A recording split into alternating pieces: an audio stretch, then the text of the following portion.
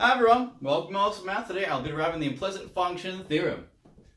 Let's go ahead and set some function of x and y equal to 0 and then take the differential which we know from multivariable calculus is df by dx dx plus partial f by dy dy and this tells us that partial f by partial y. dy is equal to minus partial f by partial x. dx, or we can go ahead and divide both sides by dx to obtain dy by dx after dividing, of course, is equal to minus partial f back to x over partial f with respect to y.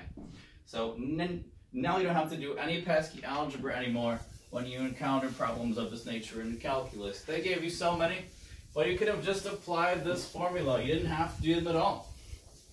Such a shame. If only you'd know multivariable calculus first. Okay.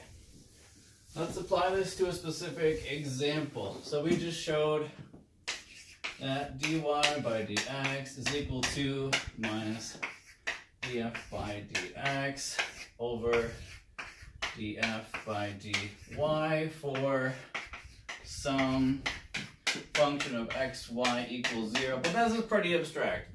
Let's just recall a problem that they probably gave you in single variable calculus. So they gave you x squared plus y squared is equal to 1. They wanted you to solve for dy by dx. You typically differentiate both sides and then solve, but we've actually done all the algebra here. So let's rewrite this. x squared plus y squared minus 1 is equal to 0. Obviously, this thing is now f. So we can just go ahead and plug it in. dy by dx is equal to minus partial with respect to x. Well, that's just 2x. Partial with respect to y. It's just 2y. The 2's cancel.